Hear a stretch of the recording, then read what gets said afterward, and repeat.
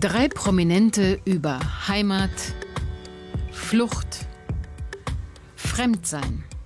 Das Thema in diesem Jahr auch bei unseren Interviews. Zum Beispiel Königin Silvia von Schweden, die gleich drei Länder Heimat nennt.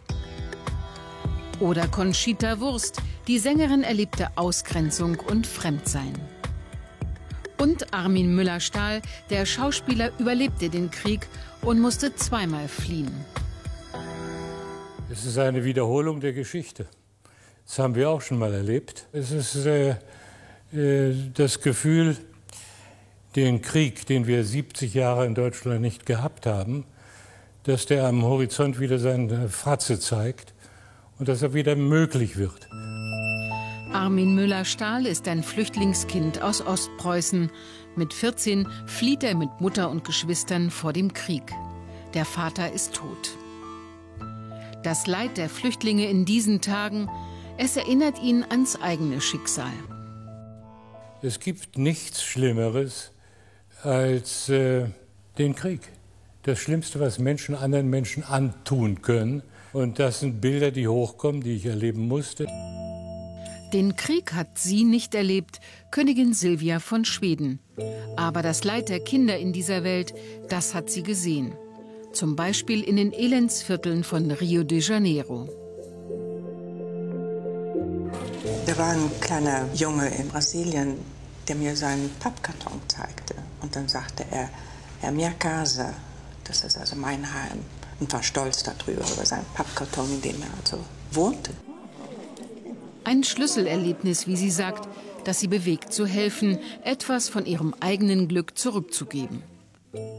In diesem Jahr kam die dreifache Großmutter nach Deutschland, um auf das Schicksal junger Flüchtlinge aufmerksam zu machen.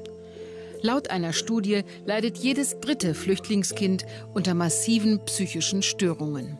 Und das sind dann Kinder, die also traumatisiert sind, nicht? Die also bei der Flucht Schreckliches erlebt haben. Sie haben nicht nur ihre, ihre Heimatstadt verlassen, ihre Freunde, vielleicht auch, dass die Eltern gestorben sind. Viele sind also elternlos dann über die Grenze dann gekommen und haben also wirklich Schreckliches erlebt.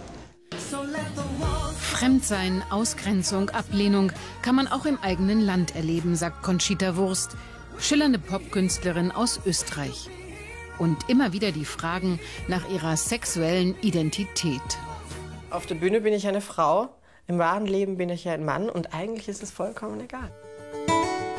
Egal war es dem kleinen Thomas Neuwirth, wie Conchita richtig heißt, lange nicht. Österreichische Provinz, die Eltern katholische Wirtsleute. Das Kind fühlt sich fremd im eigenen Körper, trägt am liebsten Frauenkleider, wird gehänselt, ausgegrenzt, weil es anders ist. Als der junge Sänger zu einer Castingshow eingeladen wird, ein schrecklicher Zwiespalt. Ich habe mir gedacht, sage ich jetzt, wie es ist, dann wissen es meine Eltern auch. Oder lüge ich weiter, nur damit meine Eltern mit der Vorstellung leben, dass ihr Kind ja doch nicht schwul ist. Längst hat die Familie sie akzeptiert, wie sie ist. Kein Gefühl des Fremdseins mehr. Und wo Familie ist, ist Heimat und Geborgenheit, sagt Armin Müller-Stahl. Vor 30 Jahren musste der Schauspieler zum zweiten Mal fliehen aus der DDR in den Westen. Lebt jetzt in Amerika und an der Ostsee.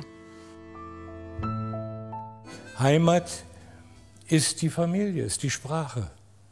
Es ist wirklich ein Gefühl. Und das ist geblieben. Ich fühle mich in Amerika auch irgendwo mit meiner Familie zu Hause. Königin Silvia ist geboren in Deutschland, aufgewachsen in Brasilien und nun seit 40 Jahren in Stockholm. Wo ist ihr Zuhause? Ich habe drei Heimaten, kann man sagen. Brasilien, Deutschland und Schweden. Alle drei haben mir so viel gegeben und ich fühle mich bei allen dreien zu Hause.